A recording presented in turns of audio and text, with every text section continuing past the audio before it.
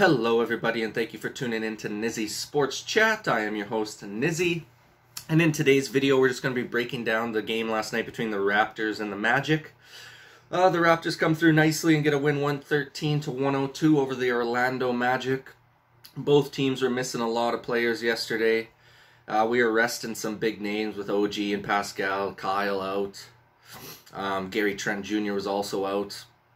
Um, the Magic side, they were missing four or five of their uh, main guys as well, so they were starting a lot of bench players, and obviously they traded uh, a bunch of their assets away, like Vucevic and Gordon during the trade deadline. So they're uh, they're a team in full rebuild mode, preparing for the future. Nice win from the Raptors last night.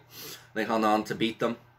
Um, held the Magic to uh, 45% from the field, 34% from three, and Magic had a abysmal 70% shooting from the free throw line. Well, that's helped us out a bit there because they had, uh, I think, more free throws than us that game.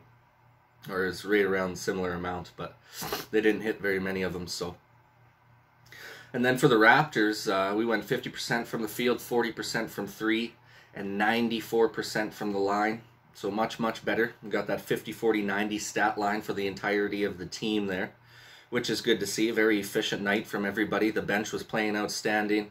Um, they really saved us tonight, man, because our starting lineup was atrocious to start the game. I mean, we only had what I think down to like the three minute mark of the first quarter, we had like 12 points or 13 points. It was another one of those dud quarters where we can barely get over the 10 point mark. Um, for some reason, they tried running everything through Fred VanVleet that first like seven minutes of the game, um, which I didn't think was very smart because the guy had sat for the last couple weeks. He had just missed like I think seven games. Um, so I didn't think that was that smart for them to be running the offense through him. I thought Malachi should have been running the offense and then setting up Freddie, uh, being able to have him hit off ball screens where he can get open for uh, clear threes, stuff like that. But he shot like one or set one of seven or one of eight to start the game. Just atrocious shooting. Um, same thing with Malachi. He didn't start out too hot either. I think he started out like one of six. So really poor performance to start, obviously from our uh, from our backcourt. They did pick it up a lot in the second half, and they also once they realized their shooting stroke wasn't too hot, they kind of dialed back on taking so many shots. Started, you know, doing the playmaking point guard duties, which is what we needed from them, which was very helpful. Um, once again, another huge rebounding game from the Raptors, 42 to 35. We out rebound the Magic. So that's two games in a row, guys. That's two games now where we've out rebounded our opponents. Guess what happened in both those games? We won. Who would have friggin' guessed, eh? Who would have friggin' guessed rebounding will win you some games? Not to mention shooting a good percentage helps out, but I think the rebounding battle is just. We're going to have a lot better chances of winning every single game if we can rebound better, and we've been doing that, man. These uh, additions of Khem Birch and Freddie Gillespie have been great additions, in my opinion. Baynes hasn't left the bench since they've been here. And I, sorry, Baynes, don't miss you, bud. Don't miss you. I mean, these guys just bring in so much more energy. Um, they're just switching so smoothly and efficiently on defense and offense, setting the screens nicely. Um, you know, they got the hops to be able to go get those rebounds, and they're just tough, younger guys who are just ready to roll, right? So I'm really happy with our two center additions. Um, they played pretty well again. Gillespie had 10.7 boards and I think he played just over 20 minutes. Um, so a nice performance again for him. He was able to stay out there in the stretch. Nick Nurse let him play most of the fourth, um, which I was happy to see, and he did a really good job there. Made a couple nice little hook shots uh, in the post. Um, on the offensive end as well, I think he shot five of eight, so pretty efficient night for him. Um, and then Khem Birch had 7.6 assists, or six boards, sorry, not assists uh, one steal and three blocks as well. So did some nice stuff for us defensively. Nothing too crazy on the offensive end, but still combined between those two, you still get 17, point, 17 points and 13 boards.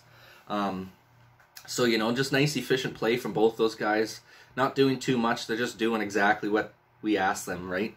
Get the boards, run uh, some pick and roll, finish hard at the rack, play good defense, right? And they've been doing all those things for us. So it's been a major help, I think, having those two guys. I think Gillespie's last game is on Sunday tomorrow against OKC, and then his 10 day is up. So we'll find out most likely tomorrow if they're going to extend him another 10 day. I'm not sure if they're going to because they signed Khem Birch. Um, but I really hope this guy gets another run, at least another 10 day contract. I think he's definitely better than Baynes at this point. He's also an undrafted rookie, so for an undrafted rookie to be able to come in and provide decent minutes without hardly any practice time and any knowledge of how we run our offense or defense and still be able to switch properly. No one's yelling at him, telling him to set screens. He's setting screens automatically on the offensive end. I think he's been a great addition, man. I'd love to see him get some more run time the rest of this year, especially, you know, we're not contenders this year. There's very little, little chance that we ever make it even past the first round of the playoffs.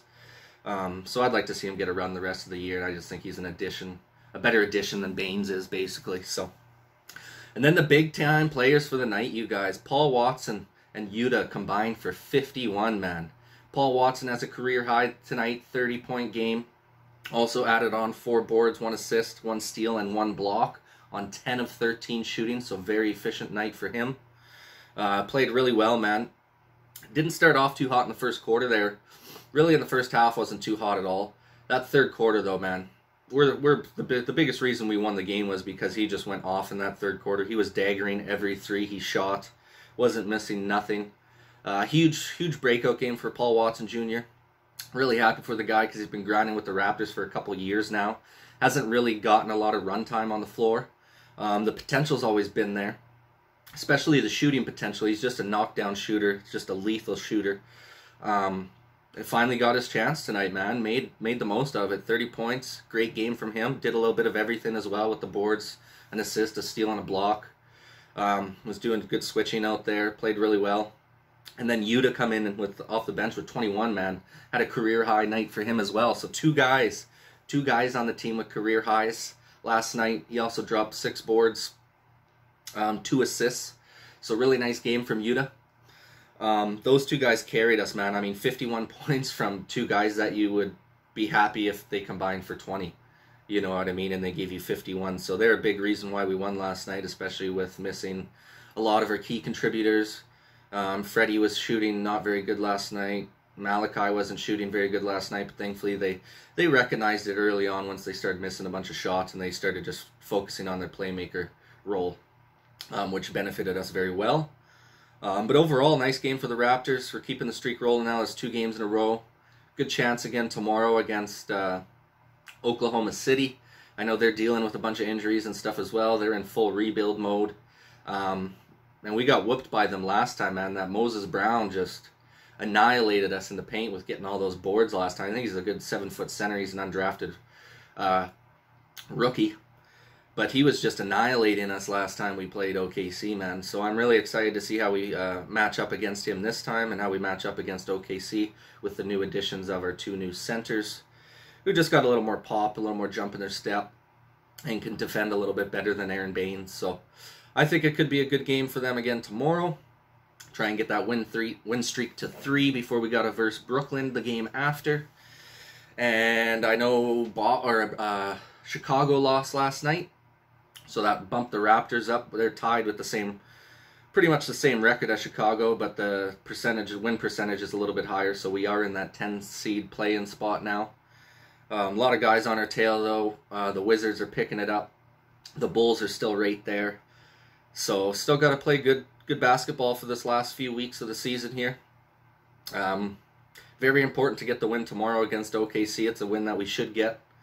And then we got a tough one against Brooklyn, which normally we show up for the tough games. So I'm excited for that one. I think we'll have a good chance against Brooklyn as well. Maybe even get a, the win streak going a bit longer. But anyways, guys, that's the video for today. Raptors versus Magic, 113 to 102. Nice victory for the Raptors. Let me let me know what you guys think in the comments section down below. What do you think our chances are of uh, going on a little win streak here? And once again, guys, thank you for watching. This is Nizzy with Nizzy Sports Chat signing off. Peace.